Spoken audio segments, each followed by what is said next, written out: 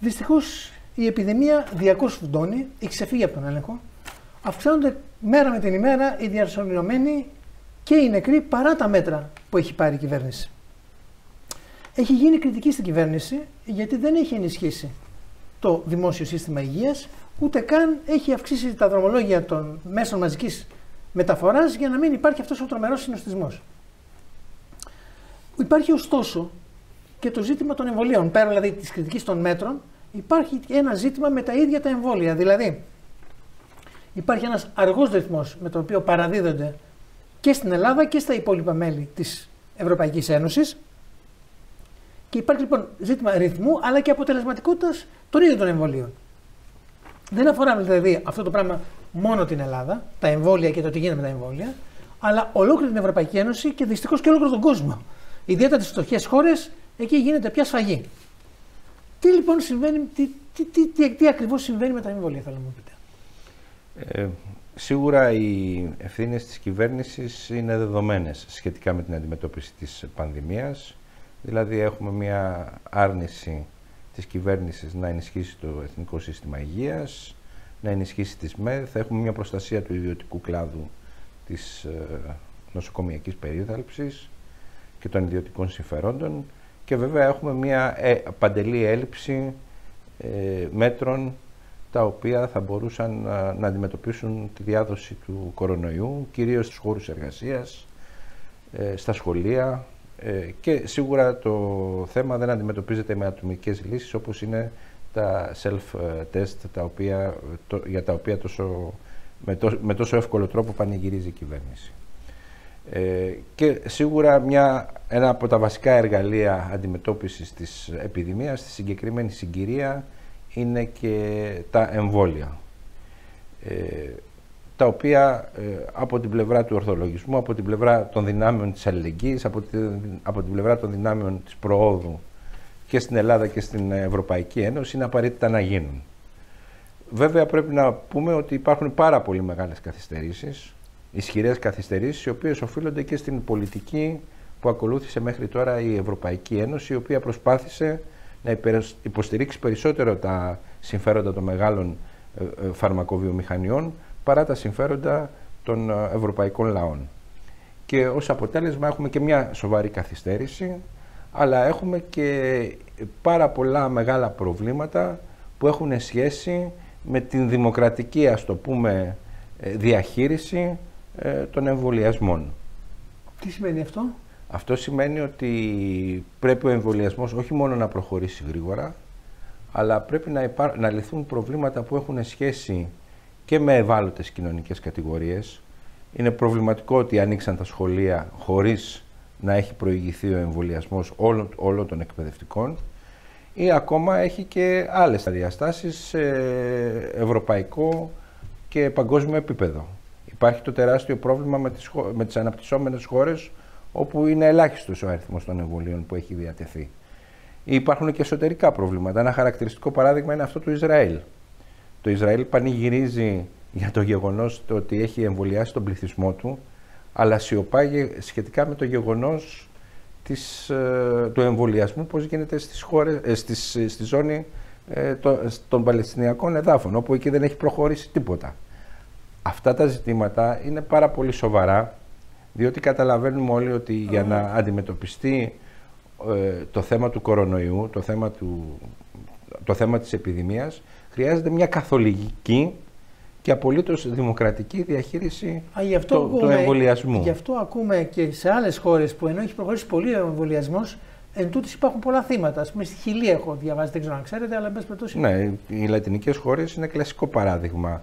Η Ινδία που ε, την τελευταία εβδομάδα έχει ξεπεταχτεί όσο αφορά ναι. τα κρούσματα και τα προβλήματα διαχείρισης του κορονοϊού είναι εξαιρετικά παραδείγματα που δείχνουν την ανάγκη να υπάρχει ένα, ε, μια δημοκρατική διαχείριση, όπως είπα, και μια καθολική διαχείριση του, του, των εμβολιασμών.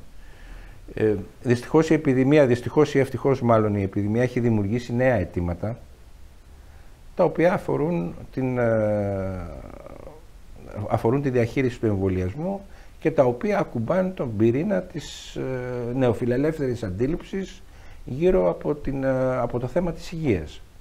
Και εδώ πρέπει να γίνει μια ε, πολύ σημαντική, πολύ σοβαρή επιλογή. Θα πάμε με μια λογική ε, υπεράσπισης των συμφερόντων των λίγων, θα πάμε με μια λογική υπεράσπισης των συμφερόντων των μεγάλων φαρμακοβιομηχανιών; Ή θα πάμε με μια λογική αλληλεγγύης; Σε εσωτερικό επίπεδο καταρχάς εντός των χωρών, εντός των υπήρων, εντός των ε, διάφορων πολιτικών ενώσεων όπως είναι και η Ευρωπαϊκή Ένωση. Γιατί πράγματι ε, σε αυτό το σημείο ε, έχετε δίκιο. Δηλαδή βλέπουμε να υπάρχει και ανταγωνισμός και εσωτερικά στην Ευρωπαϊκή Ένωση μεταξύ των χωρών. Για το ποιοι θα πάρουν το εμβόλιο, δηλαδή αν είναι δυνατόν. Και ποιος θα πάρει το εμβόλιο και τι θα γίνει με τα εμβόλια που προέρχονται από χώρες που δεν είναι από την Ευρωπαϊκή Ένωση. Σωστά. Το περίφημο ρωσικό εμβόλιο. Το ρωσικό εμβόλιο λέτε. Ναι, αλλά και υπάρχουν και, άλλα, και, άλλες, ε, και άλλα εμβόλια όπως είναι το κινέζικο κτλ. Ε, τα οποία για λόγους πολιτικούς δεν προωθούνται από την Ευρωπαϊκή Ένωση. Ε, εγώ θα έλεγα ότι η Ευρωπαϊκή Ένωση ε, και η Ευρωπαϊκή Επιτροπή δείχνουν μια απίστευτη ολιγορία να αντιμετωπίσουν το πρόβλημα του εμβολιασμού. Δηλαδή, ε, φαίνεται, να υπάρχει μια, ένα, φαίνεται να υπάρχει μια δυσκολία που έχει σχέση με την γραφειοκρατία και τις δομές της ίδιας ε, της Ευρωπαϊκής Ένωσης που γεννούν μια δυσαναξία ως προς τη γρήγορη και αποτελεσματική...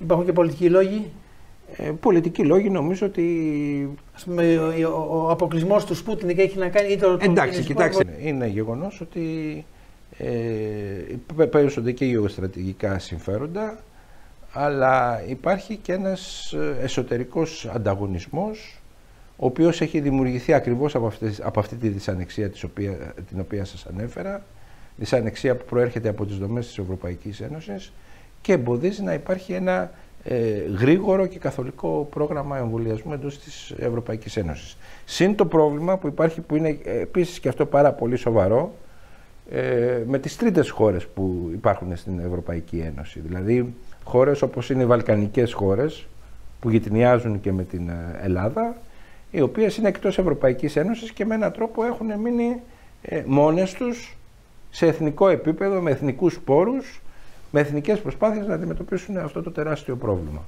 Μια και μιλήσαμε τώρα για το εμβολιασμό και τις εταιρείες και τα συμφέροντα τα ιδιωτικά. Διαβάζω στις εφημερίδες ότι πάνω από 60 πρώην αρχηγοί κρατών και κυβερνήσεων, άμεσα τους ηγέτες της Βρετανίας και της Γαλλίας, καθώς και πάνω από 100 νομπελίστες έκαναν έκκληση τι προάλλες ε, στον πρόεδρο των ΗΠΑ, τον Τζο Μπάιντεν, να ταχθεί υπέρ της απελευθέρωσης των πατεντών των εμβολίων κατά του κορονοϊού.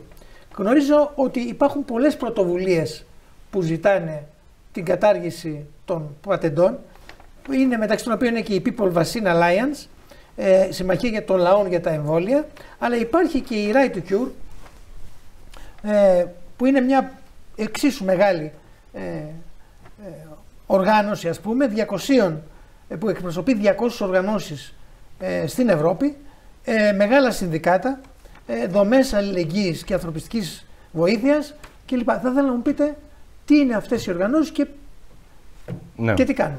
Ε, όπως είπαμε, το, η επιδημία δημιούργησε νέα αιτήματα.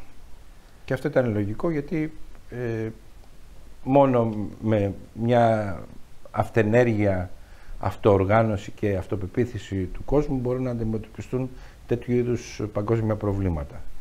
Ε, εμείς ε, ως αλληλεγγύη για όλους, που είναι μια δομή, ε, μια οργάνωση ε, δομών, ένας σχηματισμός δομών αλληλεγγύης, ε, συμμετέχουμε σε αυτή την ευρωπαϊκή προσπάθεια στο right to cure, στο δικαίωμα δηλαδή για την θεραπεία, η οποία όπως, είπε, όπως είπατε και εσείς είναι μια ε, πρωτοβουλία πολλών οργανώσεων που συμμετέχουν και μεγάλες συνδικαλιστικές οργανώσεις ε, η οποία προσπαθεί να βάλει ε, τα θέματα που έχουν σχέση με την ανάγκη να υπάρχει ένα πρόγραμμα υγείας για όλους, να υπάρχει διαφάνεια και δημόσιος έλεγχος στα θέματα που αφορούν τον εμβολιασμό και το αγαθό της υγειονομικής περίθαλψης. Είναι γεγονός ότι υπάρχουν πάρα, πολλοί, πάρα πολλές πρωτοβουλίες όπως αυτές που αναφέρατε κι εσείς οι οποίες δεν είναι βέβαια ανταγωνιστικές μεταξύ τους, όλες έχουν ε, ένα στόχο Και θα έλεγα ότι ο βασικότερος στόχος αυτή, σε αυτή τη συγκυρία είναι το σπάσιμο των παντεντών, δηλαδή το σπάσιμο των διπλωμάτων ευρεσιτεχνίας που έχουν σχέση με τα, ε, με τα εμβόλια ε, με τα εμβόλια αντιμετώπισης του κορονοϊού. Αυτό είναι ένα αίτημα το οποίο είναι βαθιά δημοκρατικό, βαθιά προοδευτικό, βαθιά αντινεοφιλελεύθερο. Είναι ένα αίτημα που εξυπηρετεί αυτό που είπαμε προηγουμένως ότι ε, πρέπει αυτή η πανδημία να αντιμετωπιστεί με όρους αλληλεγγύης και δημοκρατίας και με όχι όρους ενίσχυσης και περαιτέρω κερδοφορίας των μεγάλων φαρμακευτικών ε, βιομηχανιών. Εδώ θα κάνουμε και την παρατήρηση μάλιστα ότι τα εμβόλια αυτά έχουν βγει και με κρατική χρηματοδότηση. Ακριβώς, ακριβώς. Αυτό είναι. Γι' αυτό λέμε, και, το, δηλαδή, ναι, γι αυτό λέμε και το θέμα του δημοσίου ελέγχου και τη απόλυτη διαφάνεια. Ε, διότι... Το Πανεπιστήμιο της Οξφόρδης συμμετείχε στο πιο βασικό. Βεβαίως, ναι. Όλα αυτά τα, όλα όλες αυτές οι πατέντες ε, γίνονται μέσα στα πλαίσια δημόσιων ερευνών οι οποίες χρηματοδοτούνται απευθεία από τους κρατικούς προϋπολογισμούς, από τους ίδιους τους πολίτες. Και είναι μια τεράστια αντίφαση το γεγονός ότι, για παράδειγμα, οι, οι συμβάσεις οι οποίες γίνονται ανάμεσα στις φαρμακοβιομηχανίες και ανάμεσα στην Ευρωπαϊκή Ένωση και την Ευρωπαϊκή Επιτροπή ε, δεν είναι δημόσιες, δεν έχουν, ε, ε, δεν έχουν, δεν έχουν πώς να το πούμε, ανακοινωθεί, δεν έχουν τύχει του αυτονόητου ελέγχου που θα έπρεπε να υπάρχουν. Να υπάρχει γύρω από, γύρω από αυτές τις συμβάσεις. Και γενικά μπαίνει αυτό το αίτημα, το οποίο είναι ένα από τα βασικά τέσσερα αιτήματα τα οποία σας, σας απαρίθμησα και τα οποία έχουν σχέση με το ζήτημα του δημοσίου ελέγχου.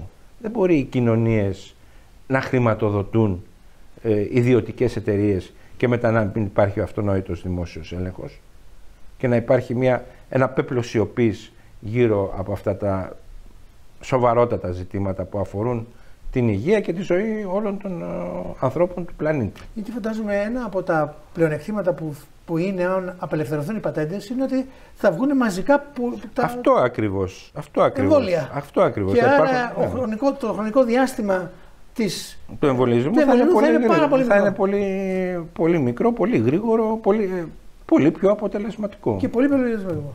Ε, διότι... Δηλαδή κοπτόμαστε για την οικονομία και το, το τι θα Βεβαίως, γίνει. Αυτό είναι, αυτό... είναι πραγματικά κόσμος, έχει υποφέρει από αυτό. Ε, βέβαια, ναι. Και δεν επιταχύνουμε τις διαδικασίες εμβολίων. Ναι, αυτό ακριβώς είναι το τεράστιο θέμα που λέμε σε σχέση με, την, ε, με τις πατέντες. Δηλαδή ότι θα υπάρχει μια ε, γρήγορη και αποτελεσματική επιτάχυνση όλης της διαδικασίας.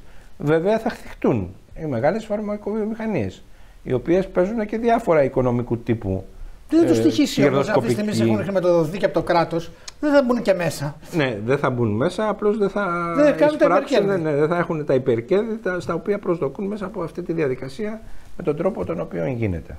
Αλήθεια, υπάρχει σε επίπεδο ευρωπαϊκό η σύγκληση για, να, για τα κοινωνικά κινήματα, ούτως ώστε να προωθήσουν το κρίσιμο αυτό ζήτημα της κατάργησης των πατεντών. Ναι, νομίζω ότι είμαστε σε μια φάση όπου γίνονται οι πρώτες απόπειρες και που διαμορφώνονται οι πρώτες ε, προσπάθειες. Ε, το, αυτό το, αυτή η πανευρωπαϊκή καμπάνια, το Right to Cure, το δικαίωμα δηλαδή στην ε, θεραπεία, είναι παιδί αυτής, απότοκο αυτής της προσπάθειας. Και ναι, σίγουρα είναι γεγονός, είναι δεδομένο ότι αυτού του τύπου τα αιτήματα ε, και η αντιμετώπιση του τεράστιου προβλήματος της επιδημίας δεν μπορεί να γίνει στα στενά εθνικά όρια. Χρειάζονται πανευρωπαϊκές πρωτοβουλίες ε, έτσι, έτσι ώστε να υπάρχει η αντίστοιχη κοινωνική πίεση ώστε και οι αποφάσεις ε, να είναι σε ευρωπαϊκό επίπεδο και βέβαια να έχουν το δημοκρατικό πρόσημο και το προοδευτικό πρόσημο και το αντινεφιλελεύθερο πρόσημο που επιθυμούμε και εμείς.